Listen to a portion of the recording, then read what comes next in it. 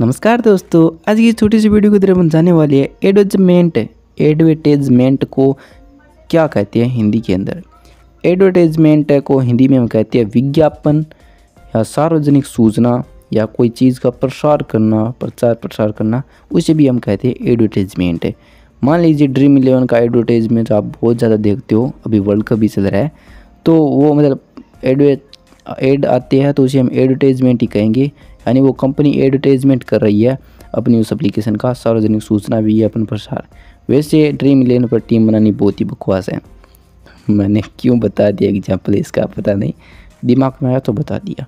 Advertisement किसी का भी हो सकता है, किसी चीज़ का भी हो सकता है। आप किसी, मान लीजिए आपने कोई प्रोडक्ट बनाया तो उसका आप एडवर्टाइजमेंट कर सकते हो लोगों को बताने के लिए, यानी सार्वजनिक सूचना देने के लिए।